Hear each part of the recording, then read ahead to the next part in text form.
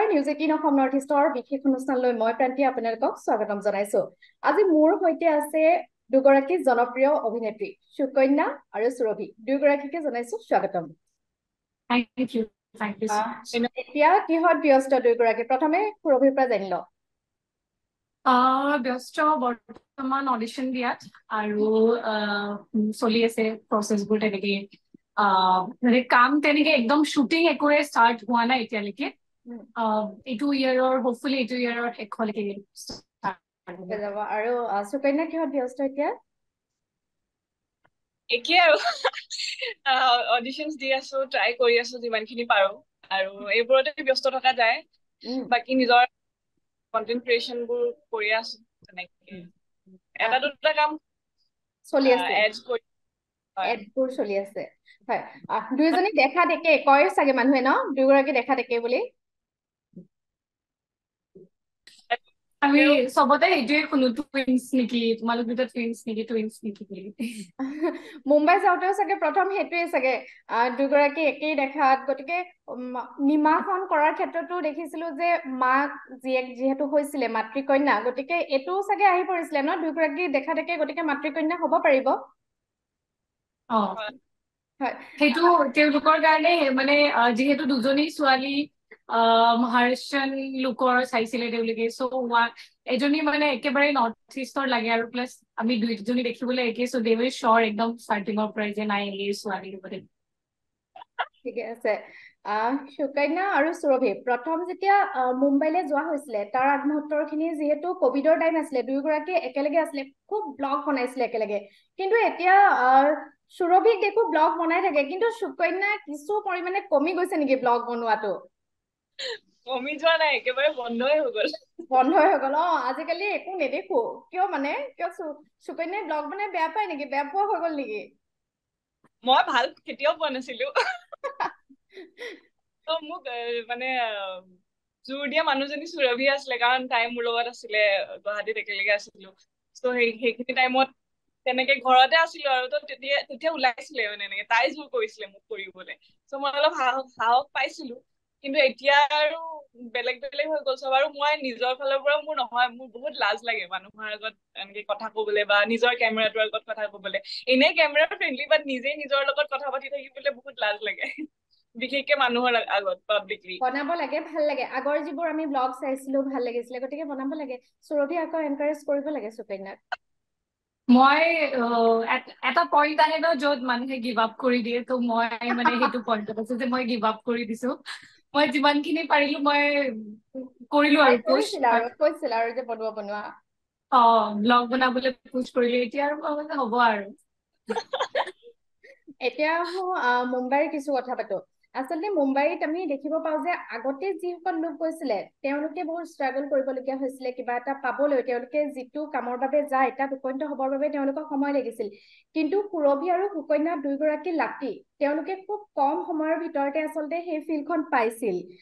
গতিকে দুয়োগৰাকীৰ এই যাত্ৰাৰ সময়খিনিৰ বিষয়ে সকলো জানে অনুৰাগীসকলে জানে। তথাপিও কিছু যদি কয় অকনমান যদি কয়। ডেফিনেটলি এইটো লাকি বুলিয়ে ক'ব লাগিব। কাৰণ যদি আপুনি একো এটা নোহোৱাকে ডাইৰেক্ট মুম্বাইত আহে তেতিয়াহ'লে হয়তো চিৰিয়েল এখনৰ লিড বা ইম্পৰ্টেণ্ট কেৰেক্টাৰটো বহুত দূৰৰ কথা আপুনি মানে এনেই ওৱান ডে টু ডে কৰিবলেও বহুত টাইম লাগে। কাৰণ প্ৰথমতেতো প্ৰডাকশ্যন হাউচবোৰ আপুনি জানিব লাগিব। সেইটোৰ কাৰণেও you need at least for five months production হাউচবোৰ জনালৈকে প্ৰডাকশ্যন হাউচ গৈ অডিশ্যন দিয়ালৈকে আপোনাৰ কাষ্টিংবোৰে আপোনাৰ নামটো জনালৈকে আপোনাৰ কমচে কম এটা বছৰ এটা লাগি যায়। ত' তাৰপিছত যেতিয়া মানুহখিনি অকণমান জানে অডিশ্যনৰ কাৰণে মাতে ত' তাৰপিছত অডিশ্যন হৈ চিলেকশ্যন হোৱালৈকে বহুতখিনি সময় লাগে। ত' সেইটো হিচাপত তাইৰ সুকন্যাৰ মোৰ বা চেলেষ্টি আমাৰ তিনিওজনীৰে মানে লাকিলি আমি এখন চিৰিয়েল লৈ অসমৰ পৰা আহিছো গতিকে সেই কষ্টটো হোৱা নাই। কিন্তু সেইটোৰ মানে এইটো নহয় যে চিৰিয়েলখন শেষ হোৱাৰ পিছত আমাৰ একো ষ্ট্ৰাগল হোৱা নাই। সেই যোনখিনি ষ্ট্ৰাগল হয়তো মানুহে ষ্টাৰ্টিঙত পায় আমি চিৰিয়েল শেষ হোৱাৰ পিছত সেই ষ্ট্ৰাগলখিনি নহয় একজেক্ট সেইখিনি ষ্ট্ৰাগল আমি পোৱা নাই কাৰণ চিৰিয়েলখন শেষ হোৱালৈকে এটলিষ্ট মানুহখিনিয়ে আমাক জানে বা কাষ্টিং ৰিলেটাৰ্ছখিনিয়ে জানে চ' আমাক অডিশ্যন আমালৈ আহি যায় কিন্তু ডেফিনেটলি এনেকুৱা নহয় যে এখন চিৰিয়েল শেষ হোৱাৰ পিছত ইজিলি এখন পাই যাব বা লগে লগে প্ৰডাকশ্যন হাউচে মাতি দিব তেনেকুৱা নহয়। আৰু চাগে নিমাখন আৰু দুই তিনি বছৰ চলিলে হয়তো তেনেকুৱা এটা পৰ্যায় পালো হয় চাগে। কিন্তু যিহেতু এবছৰ চলিলে গতিকে বা তিনি বছৰ চাৰি বছৰ চলিলে অডিশ্যনটো দিবই লাগিব। দেট ইজ লাইক মাষ্ট মানে তাতে এনেকুৱা চাগে ন? কিবা এখন নিমা কৰিলা কিন্তু নিমাৰ পাছতো তোমালোকক যে বেলেগ এখনত লৈ ল'ব সেইটো কথা নহয়। বেলেগ নহয় নহয় নহয় একদম নহয় একদম নহয় একদম নহয়। যেনেকে অসমত কি আমি অসমত আগতে এখন চিৰিয়েল কৰি চাওঁ কি কৈছা? কোৱা সুকন্যা কোৱা দিবই লাগে যোনে হওক যোনে নহয় য়েছ য়েছ মানে অসমত এখন চিৰিয়েল কৰাৰ পিছত নেক্সটখনলে মাতি দিয়ে আৰু যে তোমাক এইটো ৰোলত ভাবিছো তুমি এনেকে এনেকে জাষ্ট হৈ গ'ল আৰু। ইয়াত অডিশ্যন দিব লাগিব অডিশ্যন যদি ভাল হয় শ্বৰ্ট লিষ্ট হয় আকৌ এবাৰ অডিশ্যন দি মক শ্বুট লুক টেষ্ট বহুত দীঘলীয়া প্ৰচেছ এটা। গতিকে এনেকুৱা একেবাৰে নহয় যে নিমাখন কৰিলো বুলি আমাৰ পিছৰ ৰাস্তাটো বহুত স্মুথ হৈ গৈছে তেনেকুৱা নহয়। ষ্ট্ৰাগল থাকিবই আৰু থকাটো আই থিংক ইম্পৰ্টেণ্টো হয়। মই এইখন কৰি থকাৰ সময়ত দেখিছিলো খুব ফানি মুভমেণ্ট তোমালোকৰ হৈছিলে। কাৰণ মই তোমালোকৰ চিৰিয়েলখনটো এটাৰ পিছত মিছ কৰা নাছিলো আৰু তাৰ সলনিও তোমালোকৰ ব্লগবোৰ সেইটো সময়ত মই চাই আছিলো। গতিকে তোমালোকৰ ফানি মুভমেণ্টবোৰ মই গম পাইছিলো। তোমালোকে যে তোমালোকৰ যিখিনি কয়েক্টৰ আছিলে তেওঁলোকক এই কিবা কিবি অসমীয়া ভাঙনিবোৰ কবলৈ দিয়া যে ধৰি লোৱা লাও পুলি লৰাই ৰুলো সেইবোৰ খুব ফানি হৈছিল। ন তেনেকুৱা কিছুমান যদি অকমান সকলোৱে যিসকলে ব্লগ নাচায় তেওঁলোকৰ বাবে যদি অকমান কোৱা। কোৱা তুমি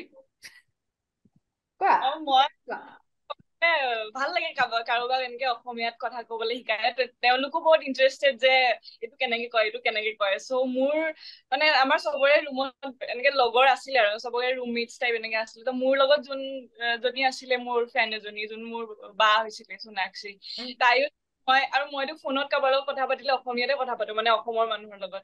চ' তাই মানে বহুত ইণ্টাৰেষ্টেড আৰু এইটো কি এইটো কি। চ' তাই অলমষ্ট মানে বহুত খিনি শিকি ললে। আৰু এতিয়াও যেতিয়া লগ পাওঁ বা কিবা তাই ফোনত হাই কি কৰিছা? কৰিছা? অসমীয়াতে কয় মানে। অ সেইকেইটা জানে আৰু। তেওঁলোকৰ কাৰণে তোমালোকে ঘৰলৈ আহিলে পিঠা পনা লৈ যোৱা খুব ভাল পায় ন? আৰু সুৰভি তুমি যিহেতু লুক টেষ্টৰ কথা কৈছিলা তুমি নিমাখন কৰাৰ সময়তো বহুতবাৰ লুক টেষ্ট দিবলগীয়া হৈছিলে। সুকন্যাৰ ক্ষেত্ৰতো একেই হৈছিলে চাগে? একদম একদম। মানে তাতে অকল ইয়াত বুলিয়ে নহয় প্ৰতিখন চিৰিয়েলতে এইটো হয়ে ন? বহুতবাৰ বহুতৰ লগত দিবলগীয়া হয়। অকল চিৰিয়েল বুলি নহয় যি প্ৰজেক্টে হওক চবতে আপোনাক কৰাৰ আগত এসপ্তাহ বা দুই তিনিদিন আগত এটা প্ৰচেছ থাকে য'ত look test trial dress trial কিবা কিবি চেঞ্জেছ এপ্ৰুভেল সেইবোৰ চব এপ্ৰুভ হোৱাৰ পাছতহে কি পিন্ধিব কি নাই কাণ ফুলি কি পিন্ধিব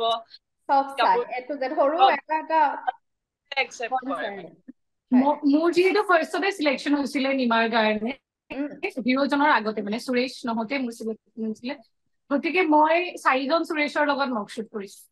মানে বেলেগ বেলেগ বেলেগ ল'ৰা চাৰিজনৰ লগত মোক মকশ্বুট কৰাইছিলে যে কাৰ লগত ভাল লাগিছে ল'ৰাজন আৰু কাক মানে মিলিছে তেনেকে সিহঁতৰ মানে সিহঁতৰতো এবাৰ মই একেখিনি ডাইলগ একেইকেইটা চিন চাৰিজন বেলেগ বেলেগ এক্টৰৰ লগত একেখিনি এনাৰ্জি দি কৰি থাকিবলগীয়া হৈছিলে। চ' ইয়া তেনেকুৱা হৈ থাকে। মই এতিয়া সুকন্যাক বহুত এডত দেখিছো। আমি সকলোৱে দেখিছো এডসমূহত এই এডৰ চিলেকশ্যনটো কেনেকুৱা? তোমালোকে মানে কেনেকে গম পোৱা যে ইয়াতে এডৰ কাৰণে আমি যাব লাগিব অডিশ্যনৰ কাৰণে মানে একেবাৰে যদি আমি নাজানো ধৰি লোৱা ইয়াৰ চিষ্টেমটো কেনেকে যাব লাগিব তোমালোকে কেনেকে গম পোৱা যে এডৰ অডিশ্যন হব কি নাই একদম পুৰা প্ৰথম পৰা কোৱাচোন অকমান যদি জানিব পাৰো। সেইটোৱে যেনেকে সুৰভিয়ে ক'লে ন যে এটা বছৰ লাগে মানুহখিনিক জানিবলৈ যেনেকে প্ৰডাকশ্যন হাউচ তেনেকে কাষ্টিং মেনেজাৰ থাকে নেকি? তোমালোকে কেনেকে গম পোৱা যে তোমালোকৰ এডৰ ইয়াতে অডিশ্যন হব কিবা হব নে কিবা গ্ৰুপ থাকে কি থাকে? নাই নাই মেনেজাৰ নহয় আপোনাৰ এবাৰ প্ৰফাইলটো চাৰ্কুলেট হোৱাৰ পিছত মানে আমি প্ৰফাইল পঠাওঁ মেইল কৰো কাষ্টিংবোৰত বা প্ৰডাকশ্যন হাউচবোৰত এবাৰ চাৰ্কুলেট হোৱাৰ পিছত কেতিয়াবা যদি এইটো ক্লিক কৰিলে বা কোনোবাই যদি চালে প্ৰফাইলটো চাৰ্কুলেট হৈ থাকে। মানে স্প্ৰেড হৈ বেলেগ। ত' কোনোবাই যদি কয় এনেকুৱা যদি ছোৱালী আছে তেনেকে নাম্বাৰটো দেচোন নাম্বাৰটোতো প্ৰফাইলত মেনশ্যন থাকেই। চ' তেনেকে স্প্ৰেড হৈ মানে বস্তুবোৰ নিজেই আহে কণ্টেক্টবোৰ নিজেই আহে নিজেই মানে অডিশ্যন আপডেটছ আহে। ত' it's up up to me মানে মই অডিশ্যনটো দিওঁ নে নিদিওঁ মই তাত চব মেনশ্যন থাকে বাজেট ক'ত হ'ব কেইদিনৰ শ্বুট কিমান কি কি কথা ডিটেইলছ তেনেকে অডিশ্যনে অডিশ্যনটো এডতো ছেম চিলেক্ট হবলৈ বহুত কষ্ট এডতো বহুত মানে লুক কৰে তেওঁলোকক কেনেকুৱা লাগে। চ' অডিশ্যন তেনেকে আপডেটছ ফোনতে আহি যায়। যে এনেকুৱা যদি কোনোবা ছুপাৰষ্টাৰ থাকে তেনেকে নামটো আহি যায় যে তেওঁৰ লগত আছে সুকন্যা কেনেকুৱা এডসমূহ কৰি আছা? কোনখিনি এড কৰি আছা? ৰিচেণ্টলি ৰিচেণ্টলি মই কৰাকেইটাতো আপলোড দিছোৱে যোনখিনি ৰিলিজ হ'ল। আৰু এটা ৰিলিজ হবলৈ বাকী আছে হেড এণ্ড চলজাৰো কৰিলো। সেইটো অলপ ডাঙৰ টিভি চি আৰু ডাঙৰ প্ৰজেক্ট এটা। সেইটো হ'ব আৰু তেতিয়া দেখিম। প্ৰথমৰ পৰা একদম সৰুৰ পৰা ভাবি আছিলা নে দুয়োগৰাকীয়ে যে মই অভিনেত্ৰী হ'ম? দুয়োগৰাকী এম আছিল নে অভিনেত্ৰী হোৱাৰ?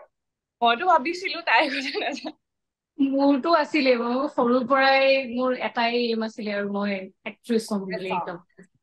তাৰ কাৰণে চাগে সৰুৰ পৰা প্ৰিপেৰেশ্যন ন কাৰণ নাচ তোমাৰ নাটক সেইসমূহতো সকলো কৰি থাকিব লাগিব যে তুমি যদি অভিনেত্ৰী হ'ম বুলি বিচাৰিছা গতিকে সৰুৰ পৰা একদম কৰি আছা। মই প্ৰিপেৰেশ্যন তেনেকে কৰা নাছিলো কাৰণ ফেমিলি ফালৰ পৰা ফিনেন্সিয়েলি সিমান ষ্ট্ৰং নাছিলে যিহেতু ডান্স বা তেনেকে ড্ৰামাত সিমানখিনি হোৱা নাছিলে মোৰ। কিন্তু মই স্কুলত পাৰ্টিচিপেট কৰিছিলো আৰু যি হওক যি অ স্কুলৰ যি প্ৰগ্ৰাম আহিলেও মানে ডান্সত হওক গান যিহেতু মই বহুত বেয়া গাওঁ কিন্তু মই কোৰেছত পাৰ্টিচিপেট কৰিছিলো। চ' যেতিয়া বাকী গোটেই বস্তুখিনি তেনেকে পাৰ্টিচিপেশ্যন হৈছিলে আৰু যেতিয়া নিউজ পেপাৰত তেনেকে অডিশ্যনৰ কাৰণে আহে মই চাইছিলো আৰু তাৰপিছত তেনেকে ফোন কৰো অডিশ্যনৰ কাৰণে অসমতো অডিশ্যন দিছিলো মই দুবাৰ। ত' তেনেকে ষ্টাৰ্ট কৰিছিলো আৰু। কিন্তু মই তেনেকে ফৰ্মেল ট্ৰেইনিং ক'তো লোৱা আৰু মোৰটোতো একদম সৰুৰ পৰাই মই যেতিয়াবা খোজ কাঢ়িছো খোজ কঢ়া পৰাই মোক মায়ে চবতে এডমিশ্যন দি দিছে। মানে নাচ গান নাটক স্পৰ্টছ কিবা কিবি মন আছিলে আৰু তোমাক এইটো লাইনত নিয়াৰ। অ তেনেকুৱাই। মাৰ বহুত খিনি সেয়া আছে মানে বহুত নহয় গোটেইখিনি আছে। চ' মায়ে মোক চবলৈ লৈ যায় মা দেউতাই চানডে চানডেটো কবই নালাগে। ৰাতি গোটেই ৰাতিপুৱা ছটা বজাৰ পৰা গধূলিলৈকে একদম মই গোটেই দিনটো মানে ওলাই যাওঁ আৰু অকল ক্লাছেছ ক্লাছ বাট পাছৰ খিনি চব খিনি নিজে কৰিছো আৰু। তাৰপিছত মাহঁতে এৰি দিলে আৰু ক্লাছ টেনৰ পৰা।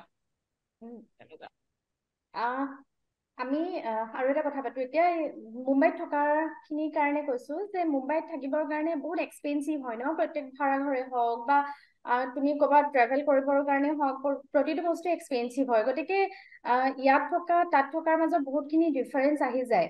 আমাৰ এতিয়া তোমালোকে তাতে এতিয়া থাকিছা গতিকে সেইখিনি কথা জানিছা। কিন্তু আৰু বহুত যাবলৈ বিচাৰে। ধৰি লোৱা আমিয়ে যাব বিচাৰিলো বা কোনোবা এজন নতুন এক্টৰ এক্ট্ৰেছ তেওঁলোকে যাব বিচাৰিছে তাতে ষ্ট্ৰাগল কৰিব তেওঁলোকে বিচাৰিছে। তেওঁলোকৰ বাবে সুবিধাজনককে যদি কোৱা তাতে কেনেকুৱা ধৰণৰ ষ্ট্ৰাগল তোমালোকৰ হৈছে? মানে এই এক্টিং লাইনৰ খিনিৰ কথা মই কোৱা নাই। মানে ধৰি লোৱা থাকিবৰ কাৰণে বা কিবা কৰিবৰ কাৰণে তোমালোকে য'ত থাকা তাৰ পৰা তোমালোকে অডিশ্যন দিবলৈ বেলেগ জেগাত যাব লাগে শ্বুটিং কৰিবৰ কাৰণে বেলেগ জেগাত যাব লাগে। গতিকে সেইখিনিৰ ক্ষেত্ৰত কেনেকুৱা ধৰণৰ কি কবা? ষ্ট্ৰাগল টো থাকিবই। যেতিয়া কোনোবাই মুম্বাই আহে মানে মইতো এতিয়া ক'ব বিচাৰিম যে যেতিয়া বা ধৰক ষ্ট্ৰাগল কৰিম বুলি যেতিয়া আহে ধৰক একো প্ৰজেক্ট নাই হোৱা ষ্ট্ৰাগল কৰিম বুলি যেতিয়া আহে পোন প্ৰথমে মই ভাবো যে এটা অপশ্যন অপশ্যন মানে এটা থাকিব লাগে আৰ্নিং চ'ৰ্চ এক্সট্ৰাকে যাতে কৰবাৰ পৰা। এনেকুৱা নহয় মানে জমা ধন যদি ঘৰৰ ফালৰ পৰা বহুত ষ্ট্ৰং যে মানুহ চাব পাৰে তেতিয়াহ'লে বেলেগ কথা। কিন্তু যদি ওলাই আছো ন মই? অ যদি তেওঁ ভাবে যে এতিয়া মোৰ মোৰ কথা মই নিজে কৈছো যদি আমাৰ নিচিনা বেকগ্ৰাউণ্ডৰ পৰা আহে তেতিয়াহ'লে ডেফিনেটলি এটা হাতত এক্সট্ৰা আৰ্নিং চ'ৰ্চ এটা লাগিব। কাৰণ ইয়াত ঘৰ বহুত বেছি এক্সপেঞ্চিভ আৰু ঘৰ বুলি ক'লে মই এনেকুৱা কোৱা নাই যে বহুত একদম লেভিছলি আছে। যদি ওৱান আৰ কে এটাও ল'ব যায় তেতিয়াহ'লে প্ৰথম কথা অডিশ্যন দিবলগীয়া হ'লে আৰাম নগৰ বা আন্ধেৰি এৰিয়াটো ভাল। কাৰণ আন্ধেৰিপাটো বেটাৰ হৈ যায় তেতিয়া তাৰ পৰাই আপুনি অডিশ্যনছবোৰ দিব পাৰিব। তো আন্ধেৰি যদি ওৱান আৰ কে এটাও ল'ব যায় টুৱেণ্টি থাউজেণ্ড মানৰ ওচৰা ওচৰি দিব লাগিব আপুনি মান্থলি ৰেণ্ট আৰু যদি দূৰত থাকে আমি য'ত থাকো আমি দুইটাই কান্দিবেলিত থাকো এতিয়া কান্দিবেলি বা মিৰা ৰোডৰ ফালে ঘৰবোৰ অলপ সস্তা। আপোনাৰ ওৱান আৰ কে পোন্ধৰ হেজাৰ বা দহ হেজাৰ তেনেকে পোৱা যায় ওৱান বি এইচ কে কিন্তু ইয়াৰ পৰা আপোনাৰ ট্ৰেভেলিংটো বহুত বেছি টান হৈ যায়। অট' অট' আছে ডেফিনেটলি অট' আছে মেট্ৰ' আছে আজিকালি। সেইটো এটা হয়। কিন্তু মোৰ মতে মানে যদি কৰিম বুলি ভাবি অহা যায় আৰু কৰিম বুলি যদি ভাবি অহা যায় তেতিয়াহ'লে ডেফিনেটলি এইবোৰ সকলো হৈ যাব মানে। একদম মেজৰ প্ৰব্লেম নহয় যে এইটো এইটোৰ কাৰণে মানুহে কৰিব নোৱাৰিব বুলি তেনেকুৱা একো মেজৰ প্ৰব্লেম নহয় খালি জানিব লাগিব কেনেকে মেনেজ কৰিব লাগে। আৰু সেই আৰু বহুত বেছি এক্সপেঞ্চিভ নহয় মই ভাবো। জাষ্ট মানে থকাটো এক্সপেঞ্চিভ অকল থকাটো এক্সপেঞ্চিভ বাকীখিনি হৈ যায় আৰু মিলি যায়। ইয়াৰে মানে আমাৰ যেনেকে মানে গুৱাহাটীৰ যোনবোৰ ঘৰ যেতিয়া ভাড়াত লোৱা যায় তেতিয়া বহুত ইজি হয় প্ৰচেছটো মানে ঘৰটো ললো তাৰপিছত হৈ গ'ল আৰু পইচা দিলি ইয়াতে মানে আপোনাৰ বহুত এটা প্ৰচেছ আৰু এটা প্ৰচেছে আছে। ডাঙৰ যে ডিপজিট লাগিব লাখ টকা এনেকুৱা আৰু। ত' সেইখিনি এটলিষ্ট আৰু সেইখিনি লাগে ফিনেন্সিয়েলি ফিজিকেলি চব ফালে প্ৰিপেয়াৰ্ড হৈ আহিল কাৰণ মোৰ লগত হৈছিলে যে মই যিহেতু প্ৰিপেয়াৰ নাছিলো আৰু মোৰ একো প্লেনো নাছিলে তেতিয়াই মানে দুবছৰ আগত মই বম্বে আহিম বুলি ভবা নাছিলো। যিহেতু এইটো পালো কাৰণে মই আহি গলো। কৰিলো। কিন্তু মই প্ৰিপেয়াৰ নাছিলো মেণ্টেলিও নাছিলো ফিজিকেলিও নাছিলো ফিনেন্সিয়েলিও নাছিলো। ত' মোৰ অলপ প্ৰব্লেম হৈছিলে প্ৰথমতে এডজাষ্ট হবলৈ প্ৰব্লেম হৈছিলে। পটককে আৰু মোক মোক মাতিছিলে চাৰি দিনৰ কাৰণে চাৰি পাঁচ দিনৰ কাৰণে। ত' সিমান খিনি হেৰি লৈয়ে আহিছিলো মই মানে। তাৰপিছত গৈ একেবাৰে হৈ গল। চ' সেইটো মোৰ কাৰণে দিগদাৰ হৈছিলে। এতিয়া এতিয়া অল গুড বাট তেতিয়া মোৰ অলপ দিগদাৰ হৈছিলে। সুকন্যা আৰু সুৰভি একেলগে নাথাকে কিয়? সেইটো কিন্তু অনুৰাগীয়ে জানিব বিচাৰে। দুইগৰাকী ইমান ভাল ফ্ৰেণ্ড অকলে একেলগে থাকিছিলে আজিকালি একেলগে কিয় নাথাকে? একেলগে একেলগে অলমষ্ট একে এটা ঘৰত থকা নহয় কিন্তু ওচৰা ইমানেই ওচৰা ওচৰি যে মানে অহা যোৱা হৈয়ে থাকে। মই কেতিয়াবা তাইৰ তাত যাওঁ বা তাই কেতিয়াবা মোৰ তাত আহে বা ওলাই গলেও আমি একেলগে ওলাই যাওঁ। চ' তেনেকুৱা একেটা ঘৰত নহলেও যিহেতু জেগাটো একেটাই আমি একে একেলগেই যোৱা যায় গোটেই বস্তুখিনিতে। ওলাই গলেও ফুৰিব গলেও খাব গলেও তেনেকুৱা। সুকন্যা আৰু সুৰভিৰ মাজত কম্পিটিশ্যন হয় নেকি? কাৰণ অডিশ্যনবোৰতো চাগে দুয়োগৰাকী যাবলগীয়া হয় কিছুমান একেবোৰ কম্পিটিশ্যন একেবোৰ অডিশ্যনতে গতিকে কম্পিটিশ্যনটো চাগে হয় তেতিয়া কেনেকুৱা লাগে? অলমষ্ট আমি একেলগে মেক্সিমাম অডিশ্যনছ আমি একেলগে দিব যাওঁ। তাইকো মাতিছে বা মোকো মাতিছে তেনেকুৱাও হয়। পটককে মানে অ মই আজি অডিশ্যন এই গৈ আছো ৰবা অডিশ্যনটো দিব তেতিয়া তাই মই ক'ত গৈ আছা? এইটোলৈ গৈ আছো। তাই কৈ কেইটা বজাত মাতিছে তোমাক? মোক পাতিছে। ত চেম মানে মানে প্ৰফাইলবোৰ চাৰ্কুলেট হৈ থাকে ন? চ' লাইক আৰু আমাৰ দুইটাৰ মানে কেটেগৰীটো যোনটো হৈছে সেইটো কেটেগৰী আমি একেটা কেটেগৰীতে পঢ়ো। এজ ৱাইজ হওক বা লুক ৱাইজ হওক গতিকে সেইটো মানে বহুত কমন বস্তু আৰু কমন বস্তু এটা যে যোনটো অডিশ্যনত মই ফিট হওঁ সেইটো অডিশ্যনত তাইও ফিট হয়। বা যোনটো অডিশ্যনত তাই ফিট হয় সেইটো অডিশ্যনত ময়ো ফিট মাতিছে তেনেকে। তেতিয়াহ'লে মানে আমি একো কৰিবই নোৱাৰিম বিকজ আমাৰ আমাৰ কেটেগৰীটো একেই। এতিয়া মই ইয়াৰ পিছত মই য'ত গৈ আছো সেইটো তাই কালি গৈ আহিছে মানে। চ' তেনেকুৱা আৰু। চব একে একে হৈ যায় আৰু। এ তোমালোকে গুৱাহাটীত থাকোতে যোনটো তোমালোকৰ লাইফ ষ্টাইল আছিলে মুম্বাইত যাওঁতেও প্ৰথম অলমষ্ট একেই আছিলে। লাহে লাহে লাহে লাহে লাইফ ষ্টাইলটো সলনি হৈ আহিছে হয়নে? মানে ইয়াতে কি কবা?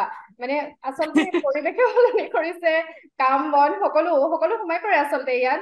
তোমালোকৰ ফ্ৰেণ্ড চাৰ্কুল বা কাম তোমালোকৰ সময় গোটেইখিনি সলনি কৰিছে এইখিনি। মানে লাইফষ্টাইলটো চেঞ্জ মানে কি আৰু সেইটোৱে কৈছো অসমখন হৈছে কমফৰ্ট জোন এটা নিজৰ ঘৰ চব নিজৰ মানুহ চবকে চিনি পাওঁ ভাষা একে চব জেগা একে চব চিনি পাওঁ তাতে জন্ম ইমান দিন থাকিলো। কিন্তু ইয়াতে হৈছে ইয়াত মানে কি হয় মই যোনটো ডিফাৰেণ্ট ফিল কৰিছো আমি মানে মই মোৰ কথা কৈছো তেতিয়া নিজকে ইমান ইমান বেছিকে চাগে নিজৰ ধ্যান ৰখা নাছিলো যিমান এতিয়া ৰাখো। তেতিয়া মানে কি হয় লগ কৰিবলৈ যাম চিনিয়ে পাওঁ আৰু কি আৰু। আমুকৰ দাদা ঘৰলৈ যাওঁ তামুকৰ দাদা ঘৰলৈ আমুকৰ ঘৰলৈ যাওঁ। ইয়াত কি হৈছে নিজকে ভালকে ৰাখিবলৈ মন যায়। মানে তাতে মানে কি আছিলে তাতে যদি এক কেজি ৱেইট বাঢ়িও যায় তেতিয়া ইমান ফাৰ্ক নপৰে। ইয়াতে যদি এটা ওৱান কেজি ৱেইট বাঢ়ি যায় নিজকে যদি আইনাখনত শকত শকত যেন লাগে তেতিয়াই টেনশ্যন হৈ যায়। অ' মাই গড শকত সেইটো কাৰণ কম্পিটিশ্যনটো চাগে মোৰ মতে কম্পিটিশ্যনটো ইমান বেছি ইয়াত। আৰু মই যোনটো বস্তু ফিল কৰিছো মুম্বাইত অহাৰ পিছত মই এতিয়া যেতিয়া অসম যাওঁ মোৰ মানে চফাখনৰ পৰা উঠি বডি লোচনটো লগাবলৈও মোৰ মন নাযায়। মই ইমানেই এলেহুৱা হৈ যাওঁ। আৰু য'ত মই যেনেকে মই এয়াৰপৰ্টৰ পৰা ইয়াত নামো মোৰ মাথাত এই বস্তু নেক্সট ৱাট নেক্সট কি? এইটো কৰিব লাগে এইটো কৰিব লাগে এইটো কৰিব লাগে সেই সেই বস্তুটো নিজেই আহি যায়। চ' আই গেছ সেই সেইটো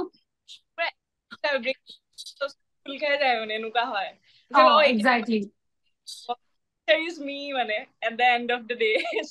নিজে চলিব নিজে কৰিব লাগিব। যেনেকে কয়ে ন যে মুম্বাই কেতিয়াও নুশুৱে চ' মুম্বাই কেতিয়াও নুশুৱে মানে মুম্বাইৰ মানুহখিনি কেতিয়াও নুশুৱে চব ইমান বেছি থাকিলেও কোনো ৰখি কোনেও ৰখি থকা নাই। চবে গৈয়ে আছে। কোনেও ইয়াত টাইম চবে কিবা এটা নহয় কিবা এটা কৰিয়ে থাকিব। আৰু তেনেকুৱা আৰু য'ত মানে নিবিচাৰিলেও তুমি কৰিব লাগিব আৰু ইয়াত আহি যদি তুমি একো কৰিব নোৱাৰা তাতকে মানে আৰু কি আৰু? মুম্বাইত নিজকে চিকিউৰ ফিল হয় চাগে ন? কাৰণ তাতে ইমান এটা এতিয়া অসমত কি হৈছে মানে প্ৰতিটো মুহূৰ্তত এই কিবা এটা হ'ল কিবা এটা হ'ল ইফালে হত্যাকাণ্ড ইফালে ৰেপ এনি টাইম বেয়া খবৰ বেয়া খবৰ মানে শুনিয়ে থকা যায়। কিন্তু তোমালোকে চাগে তাতে সেইটো ক্ষেত্ৰত চিকিউৰ ফিল কৰা। আমি সেইটো সেইটো ক্ষেত্ৰত আমি কেতিয়াবা কাৰোবাৰ বাৰ্থডে থাকিলে ৰাতি তিনটা বজাত কেবো নহয় অট লৈ আহো তথাপিও মানে একো ফিল নহয় আৰু আৰু ইয়াত মানে ইমান তেনেকুৱাকে কোনো প্লাছ মই এইটো কব বিচাৰিম যে মুম্বাইৰ যোনটো পুলিচ বিভাগটো আৰক্ষী বিভাগটো বহুত বেছি সক্ৰিয় মানে তেওঁলোক বহুত বেছি এক্টিভ ৰাতি বাৰটা বজাৰ পিছত ৰাস্তাত গাড়ী এখন এনেই ৰখি থাকিব নোৱাৰে মানে মুভ কৰি থাকিব পাৰিব কিন্তু যদি গাড়ীখন এনেই ৰখি থাকে লগে লগে পুলিচ আহি চেক কৰিব। তেনেকুৱা। চ' এক মিনিটো আপুনি গাড়ীত এনেই ৰখিব নোৱাৰে ৰাতি বাৰটা বজাৰ পিছত। চ' তেনেকুৱা বস্তুবোৰ বহুত বেছি ভাল আৰু প্লাছ ছোৱালীৰ ক্ষেত্ৰত বহুত ছেফ আৰু ইয়াৰ মোৰ ভাবে মোৰ মই মানে ভাবো আৰু মাৰাঠী যোনখিনি লোকেল তেওঁলোক এনেই মানে কথাবোৰ তেওঁলোকৰ টাপৰি টাইপ হলেও কিন্তু তেনেকুৱা নহয় মানে যে ছোৱালীক জোকাব সেই কৰিব। মোক চাগে আজিলৈকে মুম্বাইত জোকাই পোৱা নাই। লিটাৰেলি মই সঁচাকে কওঁ যদি মোক চাগে জোকাই পোৱা নাই আজিলৈকে কোনেও।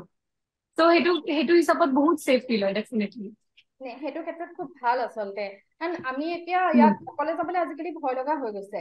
এনেকুৱা এটা চিটুৱেশ্যন হৈ গৈছে। আচলতে বহুত মানুহ ভাল থাকিলেও তাৰে টুৱেণ্টি পাৰ্চেণ্ট মানুহ বেয়া আছে। কিন্তু সঁচাকে মানে ভয় লগা এটা চিটুৱেশ্যন বহুত ক্ষেত্ৰত হৈ যায় আজিকালি।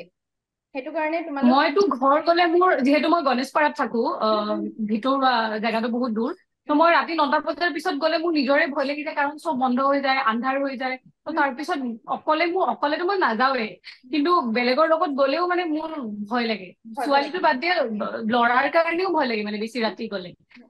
চ' তেনেকুৱা আৰু। আচলতে হৈ গৈছে। আচলতে চবৰে দৰকাৰ ভালকে ৰখাটো প্ৰশাসনৰ ক্ষেত্ৰত পুলিচ হওক যোনেই হওক তেওঁলোকে আৰু মানুহবোৰে অকমান থিংকিংটো ওপৰ লেভেলত কৰিবলৈ হলে ভাল আৰু এই ক্ষেত্ৰত। তাকে। আমি বেলেগ কথালৈ আহো। পূজাৰ কি এইবাৰ প্ৰিপেৰেশ্যন কেনেকুৱা বা পূজাত কি প্লেনিং দুগৰাকী অসম অহাৰ কিবা প্লেনিং আছে নেকি? তাই যাব নেকি? মই নাযাওঁ এইবাৰ।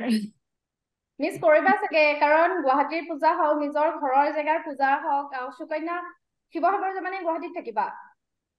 মই এতিয়ালৈকে একো ডিচাইড কৰিবই পৰা নাই। মানে যোৱা কথা আছে এতিয়াও বাট চাওঁ কি হয়। মানে হয়তো মানে কিবা এটা আছে যোনটোত মই হয়তো পূজা আগতে যাম বা পূজালৈকে থাকিম হয়তো পূজাৰ পাছত যাম। চ' এতিয়ালৈকে ডিচাইড হোৱা নাই আৰু বম্বেত তেনেকে দুৰ্গা পূজা নহয়। মানে তেনেকুৱা। হলেও মানে এখন দুখন মানে চাগে কৰবাত কৰবাত অকনমান হয়। অ ক'ত বা হয় এইটোও নাজানো। চ' ইমান বেছি আৰু সেয়া নাই। আমাৰ আমাৰ ইয়াতে হয়। ওচৰতে মই য'ত থাকো তাৰে অলপ আগতে দুখন পূজা হয়। কালি গম পাইছো মই মোক মাতিছে মানে পূজালে। চ' তালৈকে যাম বুলি ভাবিছো আৰু এখন দুখন পাৱাৰীৰ ফালেও হয় তেনেকে যাম বুলি। মই মানে একচুৱেলি মই নৱেম্বৰত গৈ আছো নৱেম্বৰৰ ষ্টাৰ্টিঙত দেউতাৰ বছৰিকীয়াৰ কাৰণে। সেইকাৰণে এতিয়া দুৰ্গা পূজাত গলে মোৰ বহুত দীঘলীয়া টাইম এটা হৈ যাব। সেইকাৰণে মই তেতিয়া যাওঁ দুৰ্গা পূজাটো স্কিপ কৰিবলগীয়া হৈছে তেনেকুৱা একো প্লেন কামহে আছে কিবা কিবি ফুৰিবলে ইয়াতে কিন্তু দুৰ্গা পূজাৰ ফিলটো পুৰা আমাৰ আহি গৈছে আৰু একদম। দুৰ্গা পূজা দুৰ্গা পূজা বতৰেও দুৰ্গা পূজা পূজা কৰিছে। আৰু পেণ্ডেলবোৰতো যিহেতু বনাইছেই আৰু আহোতে যাওঁতে মূৰ্তিবোৰ বনাই থকা দেখো গতিকে আমাৰ পুৰা দুৰ্গা পূজাৰ ফিলটো আহি গৈছে। পূজা বহুত পাই নাই। বছৰ মান হ'ল চাগে পূজা একো সেয়া সেয়া লাষ্ট টু ইয়াৰ্ছটো ইয়াতে থাকিলো মানে শ্বুটিঙে বাট তেনেকে পূজা চোৱা হোৱা নাই মোৰ ঘৰলেহে যাবলৈ মন গৈছে। কালি মানে ভাবি আছো যে অ ঘৰ পতককে দেখিলো মানে শিৱসাগৰৰ কিবা কিবি এনে কিবা ভিডিঅ'জ দেখিলো। তাৰপিছত মোৰ বহুত দিন এনেকুৱা হোৱা নাই কালি মানে মিছ কৰিছো আৰু ঘৰখন। কেলেই নাজানো আৰু হয় কেতিয়াবা হয় বহুত দিন দূৰত থাকিলে।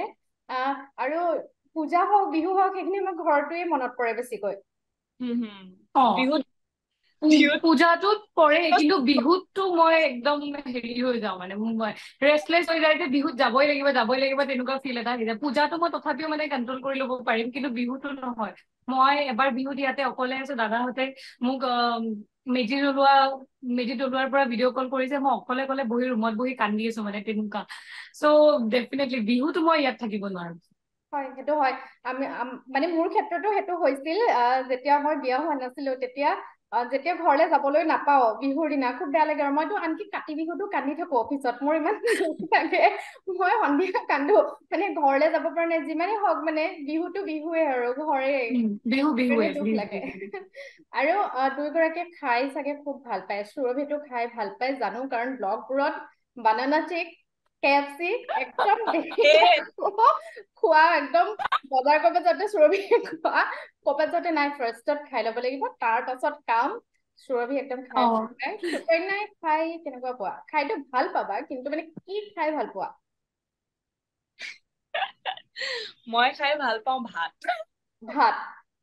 এতিয়া অলপ উল্টা হৈছে আগতে মই বেছি খাইছিলো এতিয়া মই অলপ কণ্ট্ৰলে কৰি লওঁ কিন্তু তাই মানে এতিয়া বেছি ইনটু ফুড হৈছে আৰু তাই মই আগতেও তেনেকুৱা নাচ মানে খাওঁ মই মানে মানুহে মোক মোৰ চেহেৰাটো দেখি মানে আগতেতো আৰু ক্ষীণ আছিলো তেতিয়া মানে চবেই কয় তই খাৱ জানো? ক্ষীণ খাৱ? তই একো নেখাই আছ? বোলো হ'ব দে যি ভাব ভাব কিন্তু মই বহুত খাওঁ মানে লাইক আগতেতো বহুত খাইছিলো মানে ভাতেই। বাট আজিকালি খাইছো বাট মই খাওঁ। মানে মই খাবই লাগিব। আৰু মোৰ এইটো প্ৰব্লেম আছে যদি মই নেখাওঁ এদিনত যদি এসাঁজ ভাতো নেখাওঁ কিবা হয় দিনটো গা চা বেয়া লাগে আৰু ইয়াৰে বম্বে খানা একদম মই একদমেই খাব নোৱাৰো নেভাৰ আৰু। চ' সেইকাৰণে উপায় নাই ৰাখিব নোৱাৰো কাৰণ তেওঁলোকে বনাব নাজানিব। মোৰ চাৰিজনী চাৰিজনী চেঞ্জ হল মানে। কাৰণ তেওঁলোকে বনাব নাজানে। এইবাৰ এইবাৰ যোনজনী আহিছে আৰু তেওঁ মোক ফাৰ্ষ্টতে কৈ লৈছে মই তিনিচুকীয়াৰ বুলি। তেওঁ নহয় অসমীয়া কিন্তু তেওঁ তিনিচুকীয়াত আছিলে। চ' মই মানে ভাবিলো অ' বাও তেতিয়াহ'লে অলপতো কিবা জানিব। চ' তেওঁ এতিয়া চলি আছে আৰু। কিন্তু ইয়াৰ মানে খানাটো একদম কি? মাছৰ টেঙা বনাই নে? না মাছৰ টেঙালৈকেতো গৈ নাপাও। কিন্তু দালিখনো মানে ইয়াৰ দালিখন বেয়া লাগে মোৰ। যদি প্লেইন দালি এখনো বনাই সেইখন দালিও মই ভাল নাপাওঁ ইয়াৰ। চ' ইয়াৰ খানাটোৱে মই ভাল নাপাওঁ। এইটো মুম্বাইৰ মোৰ চব বস্তু ভাল লাগে মুম্বাইৰ ট্ৰাফিকো মোৰ ভাল লাগে কিন্তু মুম্বাইৰ খানাটো মই সহ্য কৰিব নোৱাৰো। বডা পাও হওক চামোচা পাও হওক মিছেল পাও হওক মই বিৰাট বেয়া পাওঁ মইতো আজিলৈকে চুইয়ে পোৱা নাই মানে চাইও পোৱা নাই এনেকে চ' মই ঘৰ নিজে বনাম মানে বনাই লাগিলে খাম আৰু সদায়। চ' কেতিয়াবা এলাহত স্কিপ হৈ যায় বাট মই বনায়ে খাওঁ যি বনায়ে খাওঁ। ঠিকে আছে মুঠতে খাই থাকিব লাগে আৰু। কিবা কিবি খোৱা হয় আৰু নৰ্মেল বাট বেচিকেলি ঘৰতে খাওঁ। ঠিকে আছে। সুকন্যাৰ টাৰ্ণিং পইণ্ট আছিলে চাগে মলয়া বাইদেউৰ জীয়েক হয়নে? আমি সুকন্যাক মলয়া বাইদেউৰ জীয়েকৰ পৰাই চিনি পাইছিলো। হয় হয়। সেইটো আচৰিতৰ ফালৰ পৰা অফাৰ গৈছিলে নে? সেইটো কেনেকুৱা আছিলে মানে? তুমি কেনেকে পাইছিলা চান্সটো মলয়া বাইদেউ হেৰি কি বুলি কয় হয় তেওঁলোকৰ তেওঁৰ ফালৰ পৰা নহয় একজেক্টলি বাট তেওঁৰ ফালৰ পৰাই আছিলো চাগে নাজানো বা তেওঁলোকৰ টিমৰ ফালৰ পৰাই মোক জাষ্ট কল কৰিছিলে যেনেকে হয় আৰু কল কৰিছিলে তাৰপিছত হৈ গল আৰু গলো পাতিলো দেন শ্বুট কৰিলো তাৰপিছত মানুহে বহুত ভাল পালে আঁকোৱালি ললে সেয়াই আৰু। সুৰভিৰ প্ৰথম কি কৰিছিলা মানে এনেকুৱা তুমি কি কব যে তোমাৰ টাৰ্ণিং পইণ্ট এই গানটো আছিলে বা এখন চিৰিয়েল আছিলে অসমত কি আছিলে? মোৰ টাৰ্ণিং পইণ্ট বুলি ক'বলৈ গ'লে পৰিণীতা বুলি চিৰিয়েল এখন কৰিছিলো মই তাতে নেগেটিভ কেৰেক্টাৰ কৰিছিলো। চ' তাৰে আগতে মই এনেই খুটখাতকে কিবা এদিনৰ থাকিলে বা তেনেকে কিবা কিবি কৰি থাকিছিলো। কিন্তু যেতিয়া পৰিণীতাখন কৰিলো তাত তাৰ পিছৰ পৰা মানুহে বহুত আঁকোৱালি ললে আৰু। পৰিণীতাৰ পিছত আৰু মই তিনিখন আৰু তিনিখন নে চাৰিখন চিৰিয়েল কৰিলো। তাৰপিছত মিউজিক ভিডিঅ'জ কৰিলো আৰু। চ' তেনেকুৱাকে মই মানে পৰিণীতা বুলি ভাবো আৰু। যদিও বহুত একদম হিউজ ফেন বেচ এটা হোৱা নাছিলে পৰিণীতাৰ টাইমত কিন্তু ইণ্ডাষ্ট্ৰীৰ মানুহখিনিয়ে এটলিষ্ট মোক গম পাইছিলে যে নতুন ছোৱালী এজনী আহিছে তাইক ল'ব পাৰি বা কনচিডাৰ কৰিব পাৰি বুলি তেনেকে। চ' ইয়া তুমিতো নিমাৰ পাছত আৰু এখন চাগে হিন্দী কিবা এখন কৰিছিলা চিৰিয়েল এখন। অ অ কৰিছো। সেইখন শেষ হ'ল? সেইখন শেষ হ'ল চিৰিয়েলখন কিন্তু মই শেষ হোৱাৰ দুমাহ আগত মই এৰিছো। অ তাৰ পাছত এতিয়া তোমাৰ হিন্দীৰ কিবা চিৰিয়েল আকৌ তুমি চাইন কৰিছা নে কৰিবা কিবা চাইন কৰা নাই এতিয়ালৈকে যেনেকে ক'লো বহুত দীঘলীয়া প্ৰচেছ এটা ত' চাইন কৰা নাই কিন্তু সেই আৰু কথা চলি আছে অডিশ্যনছ বা তাৰ পিছত তাৰ পিছত যোনখিনি প্ৰচেছ সেইখিনি চলি আছে। আৰু সুকন্যা কিবা হিন্দীৰ চিৰিয়েল বা ৱেব চিৰিজ কিবা? চিৰিয়েলৰটো চলা নাই বাকী মই চিনেমা আৰু ৱেব চিৰিজ আৰু এডছ অডিশ্যন দি আছো। আৰু যিহেতু অডিশ্যন দি আপুনি পাহৰি যাব লাগিব যে অডিশ্যন দিছো। আদাৰৱাইজ একো নহয় কাৰণ ৰিজাল্টটো কেতিয়া একো ঠিক নাই। হয়তো সেইটো অডিশ্যনৰ আপোনাৰ ৰিজাল্ট দুই তিনি বছৰ পাছতো আহিব পাৰে। মানে সেইটোৰ লাভ মানে তেতিয়াও হ'ব পাৰে। চ' সেইটো ৱেইটিং ফৰ এ বেটাৰ ডে আৰু। ট্ৰল ট্ৰলটো বৰ্তমান সময়ত দেখো যে আমি বহু শিল্পীয়ে আচলতে ট্ৰলৰ সন্মুখীন হবলগীয়া হয়। সুৰভিও বহুত সময়ত ট্ৰলৰ সন্মুখীন হৈছা। খং উঠে চাগে বিৰাট খং উঠে ন? যেতিয়া কমেণ্টছ বোৰো খুব বেয়াকৈ আহে কিছুমান কমেণ্টছটো দিও বুলি আচলতে বেয়াকে দিয়ে।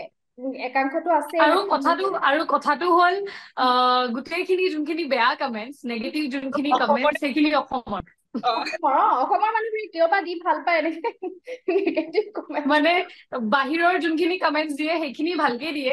কিন্তু যোনখিনি বেয়া কমেণ্টছ সেইটো এটা মই মই ভাবো মানে বেয়া কমেণ্টছটো দিয়ে অবভিয়াছলি কিন্তু কেতিয়াবা মই ফ্ৰেণ্ডৰ লগত যদি কিবা এটা কোলাপ কৰি দিওঁ তাতেও মানে ৰিচেণ্টলি কিবা এটা মানে ইমানেই বেয়া কমেণ্টছ দিয়ে যোনটো মানে মই পঢ়িবও নোৱাৰো।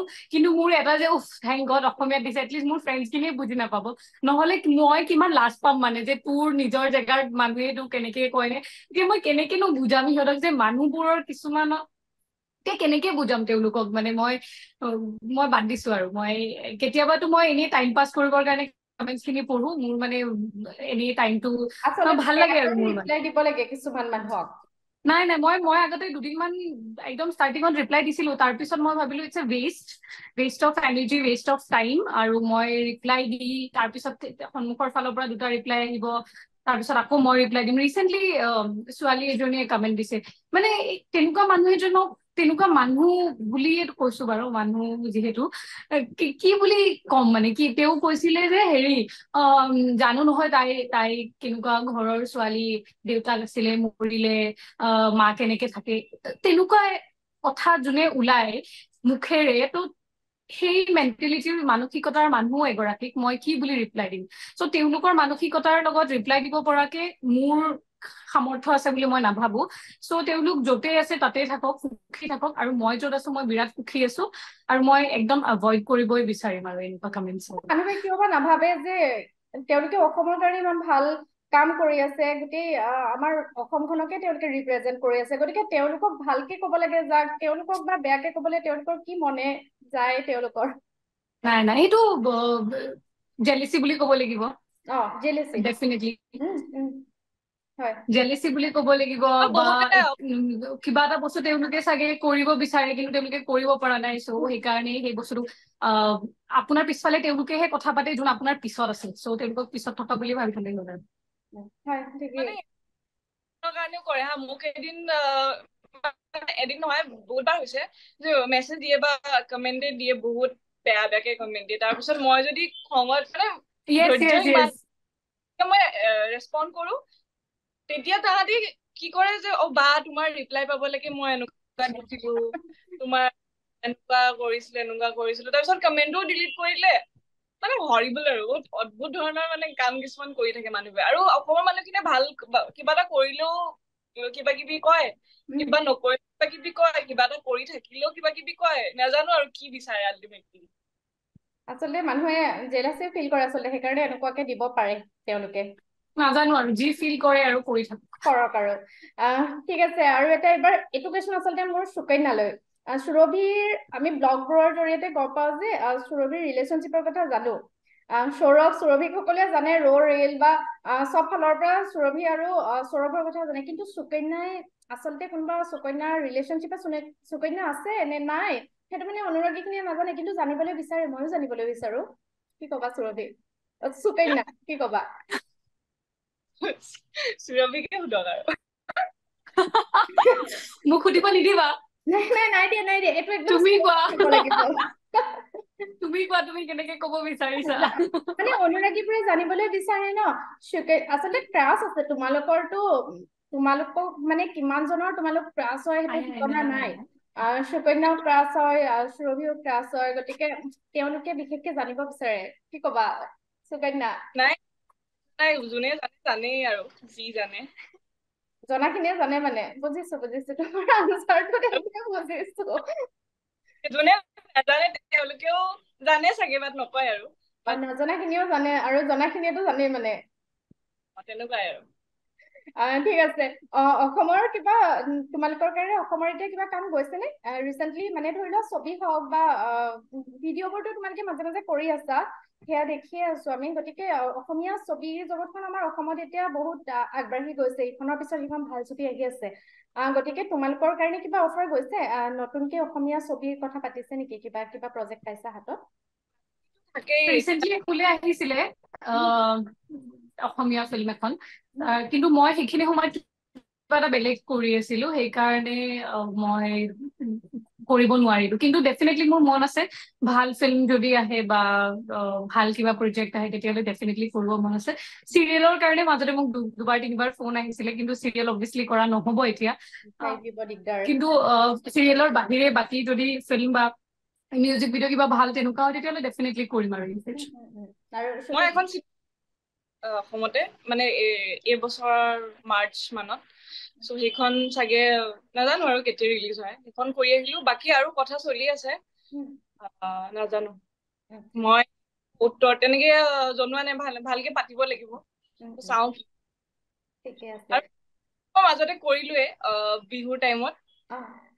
কৰি আহিলো। আৰু দুটামান ৰিলিজ হবলৈও বাকী আছে। দিয়াই নাই ৰিলিজ চ' তেনেকুৱা কৰি কৰো আৰু মাজে মাজে যেতিয়া সময় তাতো হৈ থাকে ইয়াতো হৈ থাকে। আৰু আমি আৰু এটা কথা সুধিব বিচাৰিছো মানে এনেকুৱা মন যায় ন যে মোৰ এইটো কেৰেক্টাৰ কৰিবলৈ মন আছে। মানে মই তেওঁৰ সৈতে অভিনয় কৰিব মন আছে বা মোৰ এইটো কেৰেক্টাৰ কৰিব মন আছে। সুৰভিয়ে কেনেকুৱা এটা কেৰেক্টাৰ মানে তোমাৰ ড্ৰিম মই এইটো কেৰেক্টাৰ লাইফত এবাৰ হলেও কৰিবলৈ মোৰ ইচ্ছা আছে। তোমাৰ কি ইচ্ছা আছে তেনেকুৱা?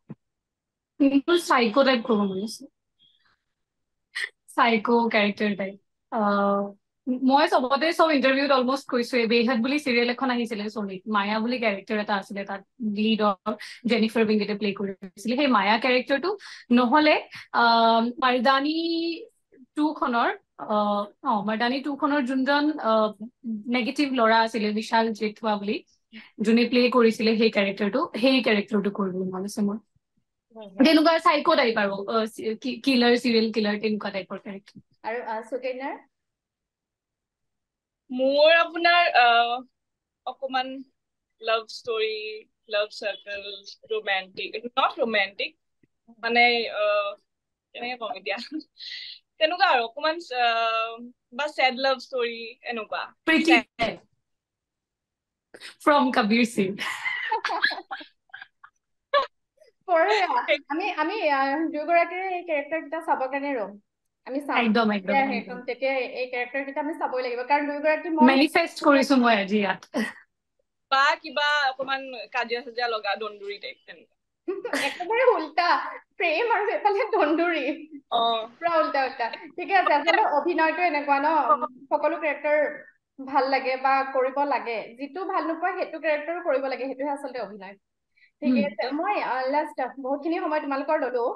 মই লাষ্ট কুৱেশ্যনটো সুধিম যে আমাৰ মুম্বাইলৈ যাবলৈ বা মুম্বাইৰ যিখন জগত সেই জগতখনত হিন্দীৰ খুব ভাল হ'ব লাগে। আচলতে হিন্দী প্ৰনাউন্সিয়েশ্যন হওক ইংলিছ খুব ভাল হ'ব লাগে। তেতিয়াহে আচলতে তাত বহুখিনি আগবাঢ়িব পৰা যায়। কাৰণ প্ৰথমতেই এইটো বস্তু তাতে হয়তো লক্ষ্য কৰে। গতিকে আমাৰ যিখিনি এতিয়া অসমীয়া ল'ৰা ছোৱালী তালৈ যাব বিচাৰিছে তোমালোকৰ দৰে তেওঁলোকে কাম কৰিব বিচাৰিছে তেওঁলোকৰ কাৰণে কি টিপছ দিবা? যে হিন্দীৰ কাৰণে তোমালোকে এইখিনি কৰা ইংলিছৰ কাৰণে এইখিনি কৰা তোমালোকৰ প্ৰনাউন্সিয়েশ্যন ভাল হ'বৰ কাৰণে এইখিনি কৰা? হিন্দী প্ৰথম কথা ইয়াতে এক্টিঙত চাগে টেন টুৱেণ্টি পাৰ্চেণ্ট কম্প্ৰমাইজ কৰিলে কিন্তু হিন্দীত একেবাৰে কম্প্ৰমাইজ নকৰে মানে হিন্দীটো জানিবই লাগিব। দেটছ দ্য লেংগুৱেজ এতিয়া যদি আমি অসমীয়া চিৰিয়েল এখন কোনোবাই কৰাটো বিচাৰো তো তেওঁ অসমীয়াটো জানিবই লাগিব। So' Hindi English is not necessary ইংলিছটো ইংলিছতেই যে ক'ব লাগিব কাৰণ হিন্দী চিৰিয়েলত ইংলিছৰ ইমান ইউজ নহয়।